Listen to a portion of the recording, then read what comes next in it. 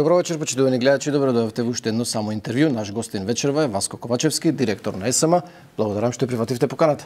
Благодарам и на вас на можноста да вечерва разговараме за состојбите во енергетиката во нашата држава. Да, вие сте директор на ЕСМ, поранешно ЕЛЕМ, од средината на 2019 година. Но ве памтат, верувам и гледачите и пошироката јавност, и како политичар бевте пратеник од 2013 до 2017, потоа одлучивте да заминете од собранието. Зошто е поатрактивна менеджерската позиција во ЕСМ, отколку политичката функција, да речеме, пратеник? Добро, мојата професионална кариера како јавна личност започна уште во 2013 година како советник во Советот на општина Битола, потоа во 2014 беше мојот прв мандат во Собранието на Република Македонија.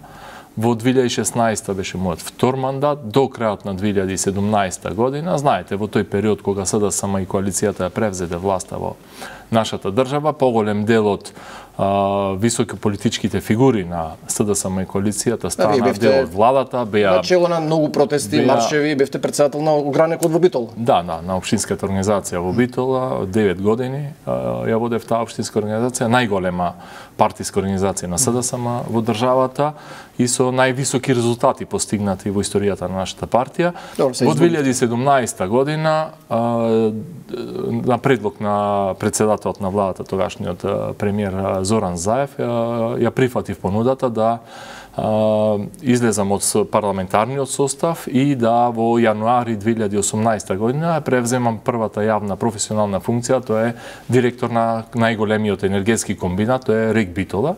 И по природа на нештата, затоа што сум од Битола, роден битолчаниц, таму живеам. Тоа е веројатно сон на секој инженер во да, Битола. Да, и исто така и мојата струка, значи јас имам дипломирано на техничкиот факултет во Битола, на термо струката во техничкиот факултет во Битола, а потоа магистрирав на менеджмент на човечки ресурси, така да двете мои образовања кои што сум ги имал во изминатото, да доаете поттика и тогашното лидерство на и на партијата и на државата да ја превземам одговорната функција да влезам како директор на Рибитола и да ги доведам во ред состојбите затоа што сите знаеме дека во 2017-18 година исклучително тешки години со превземањето на на власт од претходната гарнитура на ВМРО ДПМН па имаше беше идеја на Заев, не, па, не е ваша желба. Па најчесто кадровските решенија ги носи лидерот на партијата или лидерот не, на помислам да не дека повисока платата, може би се реков. Па не, апсолутно. Платата во Рек Битола е идентична со платата, пратеничката плата во собранието. Добро, ме се сте на ЕСМ директор, така да. Добро, после успешните резултати кои што ги направивме во регби, тоа за една година, година и половина, успеавме да ги санираме состојбите, да го вратиме производството, да ги надминиме очекувањата и сите планови кои што беа тогаш предвидени. Иако регбитол е на залесна кариерата, затоа што рудните наоѓалишта веќе се во завршна фаза, предвидувањата на работата на Рек Битола е дека ќе трае до 2030-32 година и требаше да се направат одредени структурни реформи во делот на производството, во делот на а, рудниците пред се. Ние во 2018-19 година отворивме нов рудник по Битола, тоа е ПЈС, Поденскија гленови сери, без прито да направиме застој на производството. Ќе поразговараме без прито да се да се вложат огромни средства, така да резултатите кои што беа а, од работата во Рек Битола беа исто така препорака до тогашниот Добро, премиер уште... и да превземам функцијата. И делумна на... политичка одлука, рековме сте висок Добро, јас не кријам, јас сум да. политичка фигура и во на мојата политичка партија во СДСМ на високи партиско-политички функции да. и секако дека а, кога и да добијам а, а, задачата да така бидам функционер, така тоа тоа, се да. однесувам со најголема одговорност и професионалност. Тоа ме познаваат сите луѓе кои што може Добро, да кажат. Секако го споменавте Заев, ми текна дека во 2016 имаше на поема, и се уште имате високо мислење за Заев?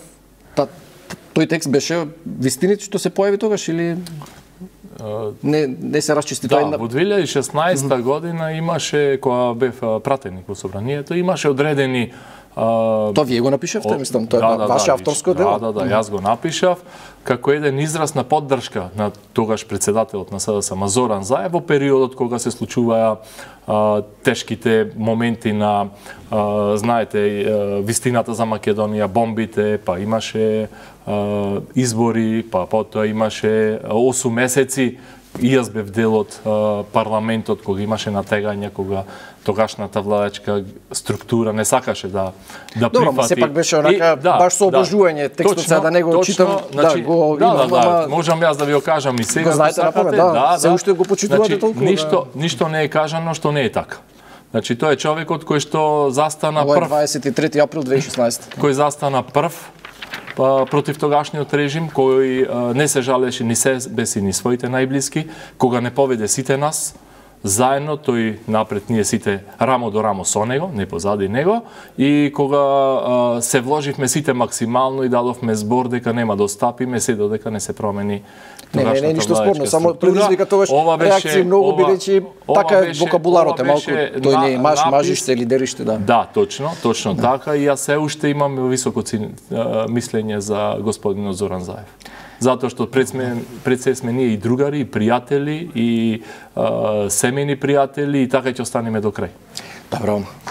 А, имаме многу теми за, за разговор, а, но на почеток морам да кажам дека за жал имав малку потешкоти да се подготвам за оваа емисија, бидејќи Специфично е, сепак е. Па не само тоа, а, а, на вашиот сајт последниот годишен извештај е објавен за 2020 година, ги нема извештаите за 2021, за 22 и рано, а финансискиот извештај последен што е објавен е за 2018 година. Значи, откако сте вие практично директор таму во ЕСАМ од 2019, објавен е само еден годишен извештај, извештај и ниту еден финансиски извештај. А, поради тоа имав повеќе потешкоти да ги најдам податоците. А, на што се должи оваа нетранспарентност? Па дури и во време на ВМРО, кое вие го критикувавте многу кога бевте опозиционер, беа многу транспарентни и ги објавуваа секоја година тие извештаи. А што се однесува до извештаите, годишните извештаи ги содржат и финансиските извештаи. Значи во годишниот извештај имаме план извештај за производство, финансиски извештај, извештај за јавни набавки и инвестиционата програма. Значи тие се четирите програми кои што на почетокот на годината ги усвојуваме, ги доставуваме до владата, владата како наш единствен собственик ги усвојува и не одобрува работење за тековната година. Во годишниот извештај со, со, сочинети се сите извештаи. Добро, така зашто ги нема, вклучително и финансискиот за 2020 се немам точно во моментот информација зошто и дали е прикачен или не. За 2020 е прикачен, тој е последниот што е прикачен. Добро, значи за Го има 2021 а, треба да биде исто така прикачен, да се согласувам, треба да сме отчетни и транспарентни затоа што акционерското друштво Електрана Северна Македонија е државна компанија во собственост на владата, на државата, односно на сите нас 100%. граѓаните, 100% и така треба да бидеме и транспарентни и отчетни. Меѓутоа јас ќе се погрижам за 21 година доколку а, не е прикачен на официјалната веб страна, тоа да биде Не, направено. ова јас го принтав вчера, проверив нај, денеска. Нај, најбрзо што Така е, најбрз да. можен рок и ќе ви известам вас лично дека тој податок ќе биде исто така прикачен, Добро, а за може ли да ни кажете? 2022 Да. година во моментот се прават завршните сметки, така да до крајот на месецот, односно до 15 мај, март треба да се предаде завршната сметка и потоа исто така за 22 година јавно ќе биде објавена на нашиот сајт. Имате ли вие сега некаква представа во 2022 колку приходи имаше предпријатието, колку од нив се од продажба на струја, колку се донација од владата, односно трансфери? Знаеме дека владата во повеќе Да. наврати префрлаше пари на Секако ЕСМ. дека подготвувајте се под, во денеска кога се подготвував за ова емисија, ги побарав и финансиските податоци за 2022 година, иако не се официјални затоа што Добро, се да, се оградивте во дека не е фаза на, на, а, на подготовка. Добро, прилика, да. Она што можам денеска да ја кажам е дека приходите на АДСМ оквирно ќе бидат а, негде околу 528 а, милиони евра. Значи кажувам во евра или Добро, во во евра, да, да, во евра, 528 да ги претвориме во денари, а расходите треба да се движат околу 520 милиони евра. Значи очекувано е дека во ова година, 2022 година, изминатата, дека АДСМ треба да оствари добивка од околу 8 милиони евра. Меѓутоа Добро, колку пари од овие се префрлени од владата? А, од а, значи во делот на приходите приходите доаѓаат од продажбата на електрична енергија кон сите оние субјекти правни со кои што имаме склучено договор, пред се со Евана Хом, затоа што имаме законска обврска, согласно новиот закон за енергетика, и она што беше направено во 2019 година, тоа е либерализација на пазарот, тоа имаме регулиран пазар, каде што ние настапуваме и ги снабдуваме Евана Хом, и слободниот пазар, каде што се сите останати. Дополнително со почнувањето на енергетската криза, заради заштита на сметките или буџетот на граѓаните, владата додели, знаете, многу обврски на АДСМ. Значи, ЕСМ е столбот на а, на енергетската криза, секако со силна поддршка од владата, од буџетот, а меѓутоа сепак на крајот тоа се парите на граѓаните. Меѓутоа да не удира директно на поединци на граѓаните, овие средства доаѓаат како условно кажано како субвенција на разликата на цената од цената која што е денеска предвидена согласно регулаторна комисија и предвидената регул... Добро, да имате сума колку пари ви значи, префрлија владата да, да, буџетот. Да. Точно, да. во 2021 година како буџетска поддршка на ЕСМ за граѓаните и малите потрошувачи, Добро. значи за регулираниот пазар, во 2021 година имавме финансиска поддршка од околу 86 милиони евра, а во 2022 година 193 милиони евра или вкупно негде околу 280 милиони евра пари кои што беа до, а, субвенционирани или буџетска поддршка кон ЕСАМА за сметките на граѓаните кои што ги плаќаат кон Еванаком и малите потрошувачи овие пари за што се трошат? За овие пари, овие пари, овие пари mm. или овие средства заедно со средствата кои што ги наплаќаме кумулативно сите се трошат пред се за обезбедување на сигурно и стабилно производство, тоа се ископите во на јаглен во нашите собствени рудници, ангажманот на собствена и надворешна механизација, производствениот процес, таму имаме фиксни и вариабилни трошоци, платите на вработените, дополнителни набавки на енергенси, тоа се мазутот, тоа се природниот газ, дополнително набавка на јаглен од соседните држави, од Грција, од Албанија и од Косово, за да го зголемиме производството, и се она што значи расход на во делот на производството. Добро, дали значи, овој расход реален. Дали ги трошите парите рационално, ВМРО ДПМН многу често ве обвинува едно дека не дека не, не, не сте способни и второ дека на коруптивен и криминален начин раководите со предпријатието. Има ли нешто за што би требало да се грижите доколку се промени власт? ВМРО ДПМН е опозиција и бара секаков начин да стигне до власт. Не само за енергетиката, гледат и за другите а, политички состојби во државата. Она што можам да окажам е дека крајно одговорно и транспарентно се троши не секој евро, неко секој денар во компанијата. И затоа во изминатите две години, со оглед дека имаме криза, енергетска криза, предходно имавме ковид кризата, имаме економска криза, па има воено-политичка криза која што силно влија и врз набавката и спораката на енергенсите за производство на електрична енергија, одлучивме во компанијата сите, значи почнувајќи од првите луѓе, од директорите, од раковителите и воработените да се однесуваме кризно. Веднаш прво што можевме да направиме да ги намалиме непродуктивните трошоци. Истите можам да кажам дека се сведени речиси на нула. Добро, се тоа треба да веруваме на збор, да, бидејќи извештајот реков да, да, го немаме. Во извештајот ќе биде кажано да. таа дадовме информација дека 55 милиони евра во 2022 година од страната на јавните набавки беа повлечени и не се активира затоа што тие трошоци беа во моментот не беа неопходни. Значи може да, да, да, да тие да се набават и во наредните години.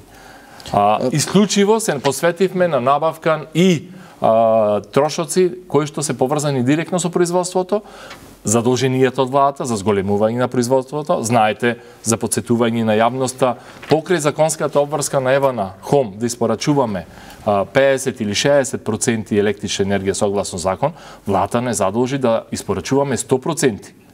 Иако таа разлика од 40 или 50% на електрична енергија, можевме согласно закон, тоа може само да направи. може да се донесете да, било да. каков, ама тоа не, не, било тоа е, срамота се Тоа е да закон да во 2019 година, но владата вели вака.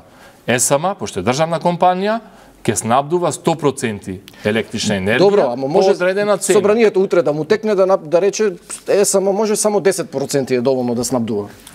Законот е политичка волја. Сега во моментот тие, тие закони, тие закон, закони се, ги, на предлог на владата ги носи собранието, но кажав Памети ме ние времења кога е само да ви кажам, снабдуваше целиот пазар да, во Македонија. Меѓутоа тоа до до пред 16 години, до 2005-6 година Тогаш произведуваше струја и за слободниот пазар, сега што е компаниите и за Да, домаќинствата. во, во 2005 година нашата држава пристапи код Европската енергетска заедница и беше прва помеѓу 10 држави, првите кои што подпишаа договор.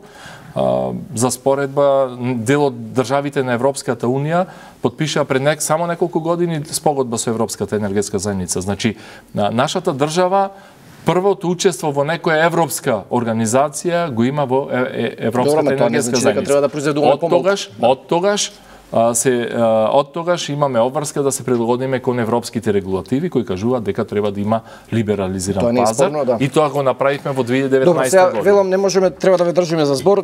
Значи, ќе видиме извештајот. Сега од овој од 2020 дозволете само да. една работа ми, ми падна во очи. За спонзорства, донации, репрезентација имате потрошено над 1 милион и 100 илјади евра. Во 2000 20 година. Значи ова е исто кризна година, ковид имаше. Значи 23.000 евра се потрошени за кафе и сок. Тоа се по едно евро 23.000 кафиња. Сега не знам тоа каква репрезентација е толку Вака се, значи Вака многу изгледа, моментот да. го немам тој податок, меѓутоа можам Е, да одговорам. сакате, да. Не, можам да одговорам. А, во 2020 година во ковид кризата во негде крајот на март или април месец владата донесе одлука да се застанат сите спонзорства, донации, репрезентации, непродуктивни трошоци. Добро, намалени се во однос на во тие- 2019, но и сепак се големи. ќе видите Да. и 10 години назад се најмалку. Значи тие се првите неколку месеци кога како општествено одговорна компанија порано Илем, сега ЕСАМА, а, ги помагала спортските организации, културните организации, а, одредени настани, а, невладиниот сектор. Ги најмногу имате за синдикатот префрлено. Да. А, во синдикатот да. имаме тие средства се книжат како а, донации, меѓутоа синдикатот согласно колективниот договор имаме обврска 2% од е, вкупниот приход да го исплаќаме на синдикатот. Тоа е согласно. Добро, не, за тоа, за и тоа е најголема што видиш, ставка. тоа ми дојде што многу се однесува до, 23.000 до ставката За кафе и сок пишува, соки, баш кафе и сок. вода и минерал, газирани, не газирани, така се води ставката. Значи, од тие ставки не е само, значи, вие морам да Има ви надворешни кажам- угостителски услуги, тоа е посебно. да, да ви кажам дека за репрезентација останато посебно. Значи ова е само кафе и сок. Ние имаме 5000 вработени. И тоа не се однесува само на дирекција или на кабинетот на директор, значи тоа е за цела компанија. А, тоа се кафиња, сокови, безалкохолни пијалоци, вода. Некојаш преку таа ставка снабдуваме вода и на вработените во рудниците. Знаете, во рудникот нема а, водоводни мрежи, нема Тоа чешми. како значи, репрезентација го водите? Па да, така се води на книговодство, се води на сметката на расход, затоа што дел од вработените кои што не можат да имат а, питка вода од водоводот и снабдување, тогаш се снабдуваат во литар и пол секој вработен, секој зашто добива. го Да, точно е репрезентација, така. тоа е Да, така се води како Добро. репрезентација, тоа е сметководство, книжење заради тоа што треба да влези во трошоци, иначе одговорно тврдам дека максимално Значи, се нема води зашто да се грижите ако дојде сметка- ВМРО на власт. Не, слободно Така. нека дојдат, Добро. не знам кога и да дојдат, значи јас кажувам дека се што работиме, работиме согласно закон и согласно прописи. Добро, ќе поразговараме за некои не се трошат. мораме да направиме тука кратка пауза за реклами. Парите па на граѓаните мора да се трошат одговорно. Така е. А, останете со нас почитувани, се надевам дека интересен ви разговорот, ќе продолжиме за кратко.